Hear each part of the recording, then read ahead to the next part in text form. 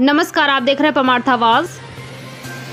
Ward संख्या 80 कोराब दुत्त से जिला पंचायत सदस्य पद हेतु शिक्षित जुझारू एवं संघर्षशील प्रत्याशी रामपाल गुप्ता, निवासी टाउन एरिया कोराब प्रयागराज, उत्तर प्रदेश की ओर से समस्त ग्रामवासियों, क्षेत्रवासियों व देशवासियों को नवरात्र, होली एवं सभ्य बारात की हार्दिक शुभकामनाएँ।